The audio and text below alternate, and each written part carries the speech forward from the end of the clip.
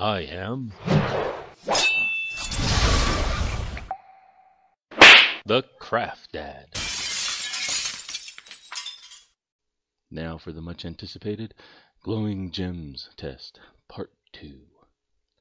In order not to burn out your LEDs, you want to do some planning. In the link below will be a link to the website that provides this nice schematic based off of the input that you have for your LEDs. If I ever forget what resistors I'm working with, I have this nice little chart provided by the manufacturing company that provided my resistors. One of the methods I'm doing is I'm sandwiching an LED between two pieces of foam. I'm doing this because I want the LED to illuminate the gems that I will be placing on both sides of the foam. So before I do this with the actual swords that I'm building, let's do a test piece. So as you see here, I'm filling the initial hole with hot glue because the hot glue is giving me the best diffusion for spreading out that LED light. I put the second piece of foam on top and I squirt in more hot glue. The LED is in the center of the foam. I'm using the wax paper set below it to see if this makes it easier to peel the hot glue off.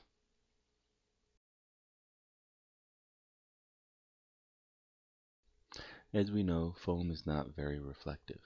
So I'm using scrap window tint here to line the holes that I've created in hopes that this adds more reflectivity of the LED light that's in the middle. As you can see here, my lovely assistant is helping me to fill the new holes with the reflective material inside.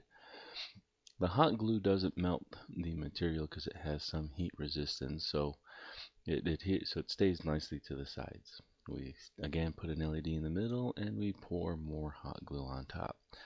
The only thing about doing it this way is you need something heavy to hold the foam while the hot glue dries.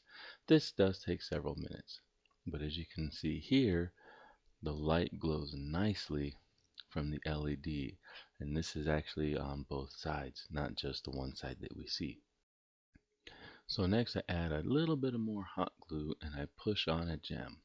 Yes, this is one of the gems that I've created for my sword project. As you can see, the gem is illuminated quite nicely. Next, we test it inside a dark area. As you can see, it is very bright. I had to cover the red light from my LED tester, but just looking at the gem, it glows very nicely in the dark. What you don't see is the LED hot point. Well, in the dark is always nice, but what about daytime?